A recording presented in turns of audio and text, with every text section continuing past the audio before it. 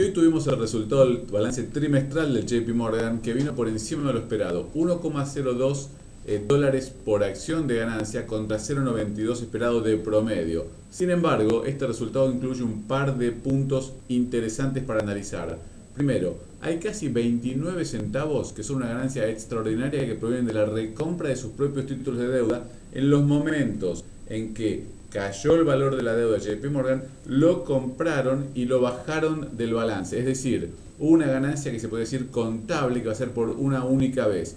De darse este concepto que es lo que estamos viendo, la ganancia hubiera sido de 0,80, 0,80 centavos por acción, en cuyo caso hubiera estado muy por debajo de las expectativas. Y algo de esto refleja el precio de la acción que está cayendo 3%. Estamos esperando Citigroup y estamos esperando Banco of para la semana entrante. Y acá hay dos temas importantes.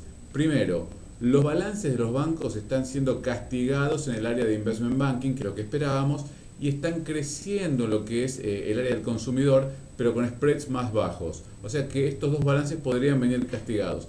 Y por otro lado estamos preocupados con lo que sería la capitalización que le estarían demandando los bancos europeos, ya que si no logran emitir nuevas acciones y capitalizar como se les está pidiendo, lo que van a tener que hacer es achicar su hoja de balance. Esto es reducir préstamos o venderlos y en ese caso podríamos ver cómo se desacelera un poquito más la economía. Estamos esperando a ver cómo se resuelven estos interrogantes. Muchas gracias y hasta la próxima.